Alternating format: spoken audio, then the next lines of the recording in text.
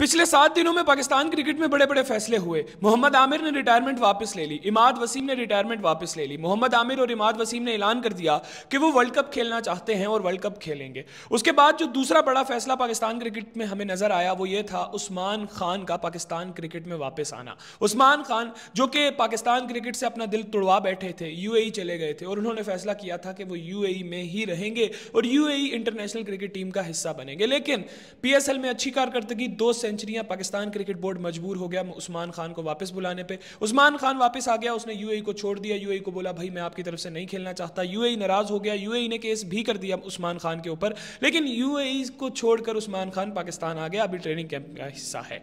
तीसरा बड़ा फैसला, शाहीन शाह अफरीदी को टी की कप्तानी से हटा देना। खैर, ये कोई नई बात नहीं थी। हमें पहले से पता था, आप लोगों के लिए शायद ये नई बात हो कि शाहीन शाह अफरीदी को कप्तानी से हटा दिया जाएगा। चौथा बड़ा फैसला जो परसों हुआ, बाबर आज़म को कप्तान बना दिया गया। आप लोगों को इन चारों फैसलों में सबसे ज़्यादा अच्छा फैसला कौन सा लगा? आमिर की रिटायरमेंट वापस लेना, इमाद वसीम की रिटायरमेंट वापस लेना, उस्मान खान का पाकिस्तान क्रिकेट में वापस आना, शाहीन शाह अफरीदी को कप्तानी से हटा देना, बाबर आज़म का दोबारा से कप्तान बनना।